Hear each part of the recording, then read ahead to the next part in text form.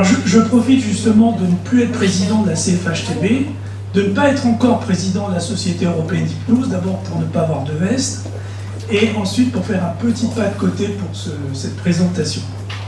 Alors un jour, André Malraux se promenait dans une ville qu'il ne connaissait pas avec un de ses amis, et son ami lui dit Quel dommage qu'on ne puisse pas commencer par le deuxième voyage.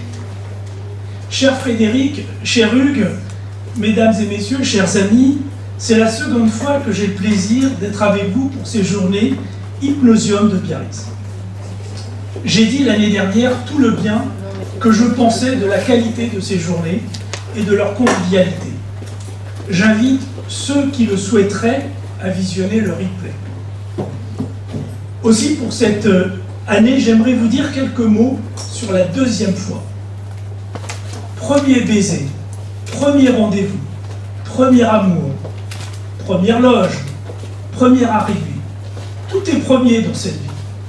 Que d'encre, de mots et d'éloges pour le premier, alors que le deuxième intéresse peu, voire pas. On a beaucoup écrit sur la première fois. On en a même fait des chansons pour les amoureux. Alors c'est vrai que la deuxième fois euh, suscite moins d'intérêt. C'est du déjà vu, du réchauffé, l'intérêt est moins, voire inexistant. Marx a écrit que Hegel fait cette remarque, que tous les grands événements de l'histoire se produisent pour ainsi dire deux fois. Et Marx continue, il a oublié d'ajouter la première fois comme une grande tragédie, la seconde fois comme une farce sordide. Hegel, Marx, dans des journées d'hypnose, que viennent-ils donc y faire? En fait, pas grand-chose, si ce n'est le plaisir de la citation et l'espoir que, pas plus que ma première présentation n'était une tragédie, la seconde sera une comédie. C'est donc, cher Frédéric et cher Hugues, pour la deuxième fois que je suis avec vous, pour ce congrès que vous avez modestement appelé, et sans esbrouf, Journée d'hypnose de Biarritz. Une journée, cela n'a pas la grandiloquence d'un congrès, ni la prétention d'un symposium, c'est plus simple, plus modeste. On vient aux journées d'hypnose de Biarritz, que les initiés nomment entre eux les JHB, comme la marque d'un bon whisky, pour se faire plaisir et pour le plaisir. Attention, cela ne signifie pas que ces journées n'aient pas de contenu sérieux. Nous sommes là pour continuer à apprendre, à découvrir, mais avec simplicité et dans la plus grande convivialité. C'est donc la deuxième fois que je viens et je me suis demandé ce qui était différent. La première fois, j'étais un peu tendu, inquiet même. En m'invitant, on m'avait fait honneur et je me devais en retour de faire honneur à cette invitation. L'enjeu modeste, lilliputien même à l'échelle planétaire, était pourtant important à l'échelle humaine. Je crois pouvoir dire que la rencontre eut lieu et que nous sommes repartis les uns et les autres satisfaits. Nous savons combien au-delà des mots, les comportements sont importants pour confirmer ou infirmer les propos que l'on tient, qui peuvent être de simple politesse, comme lorsqu'après un dîner entre amis, on se congratule, pour l'instant d'après dire tout le mal que l'on en pense, mais qu'il serait malvenu de dire à autre, de vive voix. Une seconde invitation, c'est l'assurance que l'on souhaite pour le moins aller un peu plus loin. La deuxième fois, chacun est un peu plus serein. Et je me suis dit que c'est un peu comme lors d'une consultation. Lors de la première consultation, lorsque le patient consulte, il ne sait pas à quoi s'attendre. Il est inquiet, un peu sur ses gardes. Que dire Que faire Comment dire Comment faire Ai-je confiance Est-ce que je me sens écouté? Sur un ring de boxe, on parlerait d'un round d'observation. Peut-être que le praticien consulté a été précédé par sa réputation, sans titre. Mais de la réputation à la réalité, il y a un grand pas. Et le patient peut être déçu ou à l'inverse, heureusement surpris.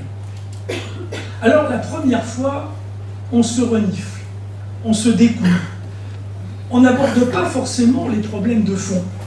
On se tâte, on s'interroge, on avance à petits pas, on est tendu, inquiet, plein d'espoir et de crainte. Dans cette scène, à deux personnages, chaque geste, chaque inflexion de la voix est observée.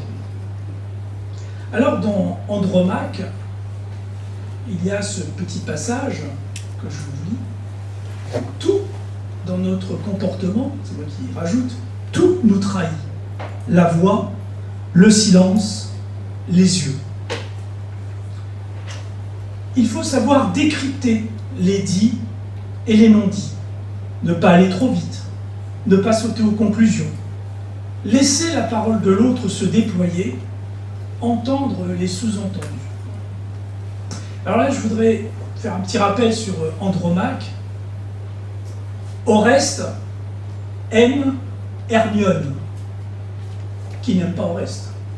Hermione aime Pyrrhus, qui n'aime pas Hermione. Pyrrhus aime Andromaque, Andromaque qui n'aime pas Pyrrhus. Et comme Hermione est jalouse, elle demande à Oreste d'aller tuer Pyrrhus. Pyrrhus tue, euh, Oreste tue Pyrrhus et revient voir Hermione, fier comme Artaban, disant Tu vois, j'ai accompli ce que tu m'as demandé. Il croit être reçu à bras ouverts. Mais il n'a rien compris. Et il dit à Hermione Ô Dieu, quoi Ne m'avez-vous pas vous-même ici tantôt ordonné son trépas? Et non, mon pauvre reste, tu n'as rien compris. Tu es resté à la surface des choses. Et la malheureuse Hermione, éperdue d'amour pour Pyrrhus et non pour toi, lui crie son erreur. Ah Fallait-il croire une amante insensée? Ne devais-tu pas lire au fond de ma pensée? Et ne voyais-tu pas au fond de mes emportements que mon cœur démontait ma bouche à tout moment? Quand je l'aurais voulu, fallait-il y souscrire? Eh oui, c'est toute la beauté et la difficulté de la rencontre, de la consultation. Le patient se découvre peu à peu. Il dit des choses, mais il faut en comprendre parfois une autre. Et c'est uniquement si l'accordage est satisfaisant que la confiance s'installe. La première consultation terminée, le patient reprendra ou pas rendez-vous la seconde fois.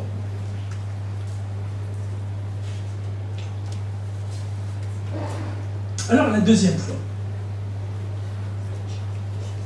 La deuxième fois, comme je vous l'ai indiqué, n'a pas bonne presse. On ne peut pas congeler un aliment une deuxième fois. Et lors d'une tâche, s'y reprendre à deux fois n'est pas bon signe quant aux capacités de l'exécutant. Surtout s'il s'agit du bourreau. Car aussi désagréable que soit la situation, il est préférable qu'il réussisse du premier coup. Les contes de notre enfance commencent tous par il était une fois, et non pas il était une deuxième fois. Pourtant, les choses changent, même dans les contes. Alors j'ai lu deux choses sur Internet. L'une, c'est l'annonce d'un spectacle, ainsi libellé. Il était une deuxième fois. Ainsi commencent les contes d'aujourd'hui. Dans ce spectacle, l'ogre et la reine cherchent à réécrire leur histoire. Onze doigts indomptables, chatouille, la cousine et deux lettres, et que tout s'oppose, se snob et se rencontre, etc., etc. Un autre site dit, alors ça c'est un site d'investissement, euh, le meilleur, c'est la deuxième fois, pour construire ensemble une seconde fois inspirante, mieux préparée. On fait un petit peu plus attention à la seconde fois, surtout quand on a failli perdre la vie. Combien de nos patients disent cet infarctus a été une chance finalement Ou bien, avec cet accident, j'ai repensé à mes priorités, à ce que je voulais vraiment accomplir. Mettons en pratique ce propos que vous connaissez certainement, ta seconde vie commence quand tu découvres que tu n'en as qu'une. Alors oui, dire oui à la vie une deuxième fois, penser sa vie, c'est renaître une seconde, fois. C'est vrai que la seconde fois, on n'y pense pas, mais elle est très importante. Quand le patient vient nous voir, il est un petit peu plus détendu. Il sait un peu mieux à qui il a affaire. Il commence à prendre ses marques. Mais rien n'est acquis cependant. un mot de trop, un silence mal à propos, et la confiance s'évanouit. Il faut être encore plus attentif, ne pas croire que c'est arrivé, que l'on est sur une voie dégagée. Mais si la confiance s'accroît, si elle s'élargit, si elle élargit son spectre, alors on peut aller un peu plus loin. Comme on dit, se lâcher. Mais toujours avec une grande vigilance. Le patient se sent plus à l'aise, le praticien peut poser des questions plus précises, parfois plus intimes, avec toujours autant de respect et de précaution. Lorsque le patient ne revient pas la deuxième fois, je ne parle pas ici des pathologies chroniques pour nous médecins, les diabètes, hypertension et autres, mais des consultations que l'on peut effectuer chez des patients pour des problèmes psychologiques ou relationnels.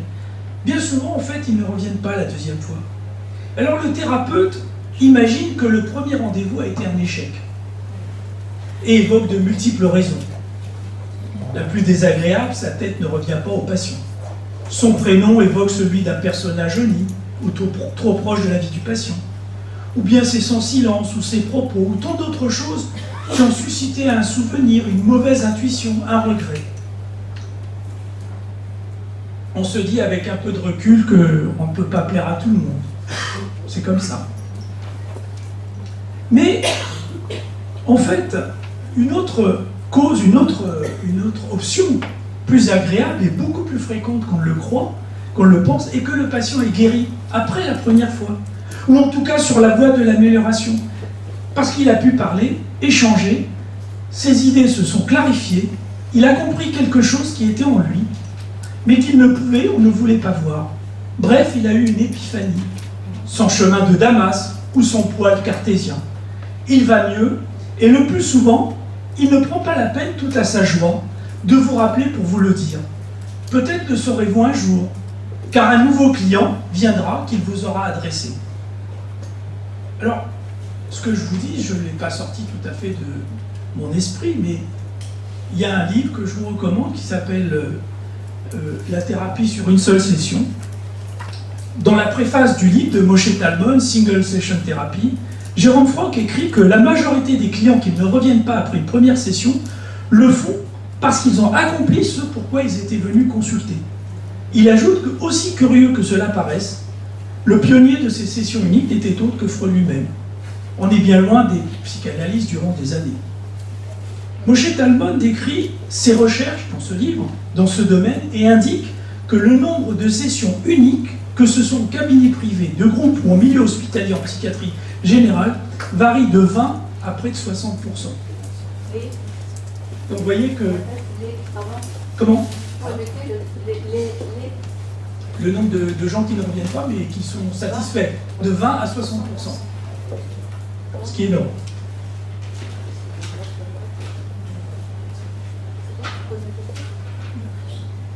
Comment on peut le ah mais ils ont fait des études dans le livre, ils ont interrogé, ils ont envoyé sur des milliers de patients dans plusieurs, sur des milliers de patients sur plusieurs, euh, sur plusieurs euh, dans plusieurs, euh, dans plusieurs domaines.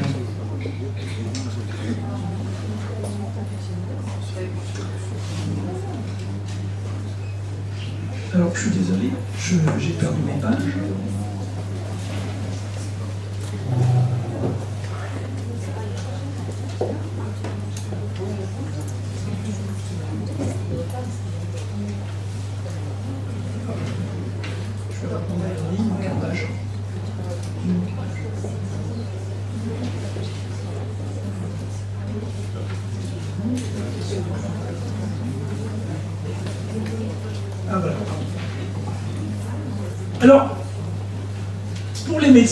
Lorsque le patient ne revient pas, on les a interrogés aussi, vous trouverez ça dans ce livre.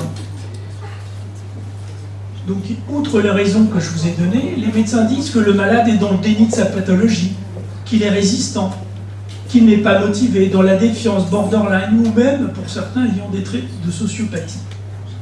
Intrigué par ces explications, Moshe Talmon décide de mener son enquête et obtient des résultats totalement différents. Dans, le, cas, dans le cas considéré pour son enquête, 78% des patients vus une seule fois ont déclaré se sentir mieux, voire beaucoup mieux, ce qui fut confirmé par d'autres études. Voilà de quoi nous rassurer. Chers amis, rassurez-vous aussi, si je suis encore avec vous l'année prochaine et les fois suivantes, je ne, vous, je ne poursuivrai pas en vous narrant la troisième, la quatrième, la cinquième fois. Je ne veux pas non plus vous lasser. Un verre, ça va. Trois verres, bonjour les dégâts, disait une publicité. Je suivrai donc la voie de la sagesse publicitaire. Aussi, pour terminer, prenez bien soin de la seconde fois, mais aussi de la troisième fois et de la quatrième fois. En fait, prenez soin de chaque moment, de chaque instant, car ils sont tous précieux, tous propices à la rencontre, à l'échange et à l'émotion. Et de chacun d'eux peut jaillir une étincelle qui peut bouleverser votre vie et celle de votre interlocuteur. Je vous remercie.